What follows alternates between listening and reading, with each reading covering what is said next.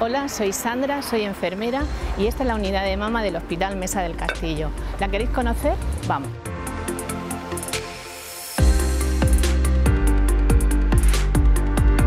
Ella es Fini, auxiliar de consulta.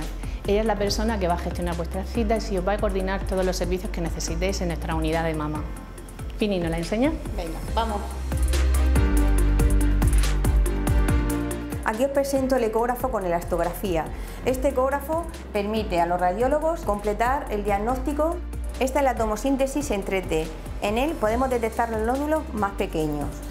Aquí es donde nuestros radiólogos analizan la mama milímetro a milímetro, capa a capa.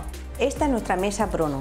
Si nuestros radiólogos encuentran algo sospechoso tanto en la tomosíntesis como en la ecografía de mama, realizaríamos una biopsia a la paciente para analizarla en un laboratorio. Pues muchas gracias Fini por tu explicación. Ha sido un recorrido muy bonito, muy interesante por nuestra unidad de mama. Un momento, Sandra, pero si nos falta lo más importante. ¿Cómo que lo más importante? ¿Más importante que toda esta tecnología?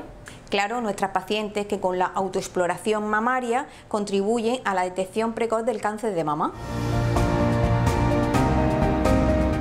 Desde la unidad de mama del Hospital Mesa del Castillo te animamos a que te unas a la lucha contra el cáncer de mama, una herramienta fundamental para disminuir las secuelas del cáncer de mama y salvar vidas. Únete a nosotros, acude a los talleres. Únete a nosotras en la lucha contra el cáncer de mama.